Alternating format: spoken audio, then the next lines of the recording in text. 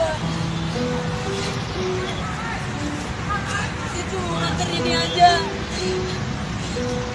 Bapak bisa jaga aja dari semua rakyat, Bapak.